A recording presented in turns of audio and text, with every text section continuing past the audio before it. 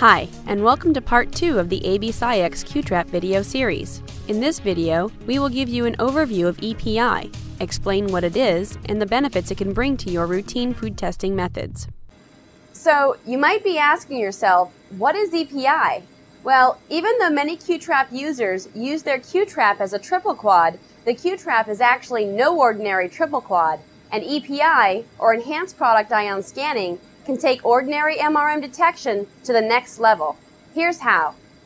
When an MRM is detected, for example parent ion 424.1 and fragment 231.1, above a set intensity threshold, an enhanced product ion scan, or EPI scan, is triggered.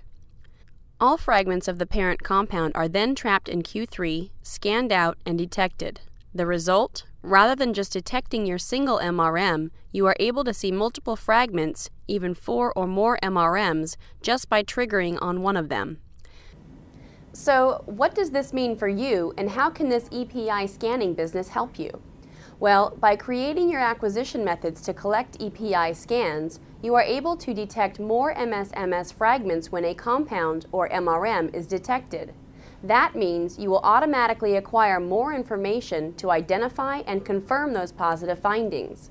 You can also compare those MSMS spectra to compound library spectra, which also helps to confirm positives. And the beauty of it all is that it does not require any additional time commitment from you. Once your method is set up to trigger EPI scans, the work happens automatically. Check out this example. In this analysis, we've detected omethoate in a carrot sample, perfect match of retention time and MRM ratio. However, we had our method set up to trigger EPI on any detected MRMs, and when we look at the EPI scan data, we see that the complete MSMS fragmentation pattern is not even close to the MSMS fragmentation pattern of omethoate.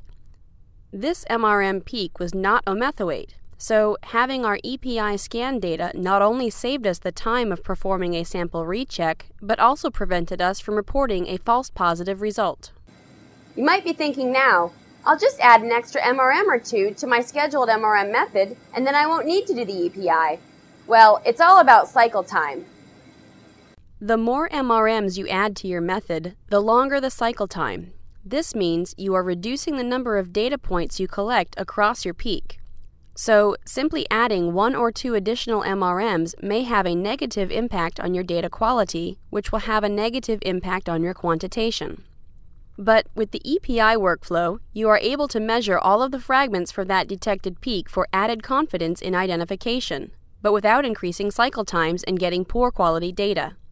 It's a great alternative to using added MRMs for confirmation. We hope this overview of EPI scanning with Q-Trap has given you some insight into how Q-Trap can help to improve results for routine food testing methods, both for accurate identification and quantitation of residues. Check out the next videos in this series describing more examples of Q-Trap benefits for food testing methods and step-by-step -step guides to help you set up these methods in your own lab.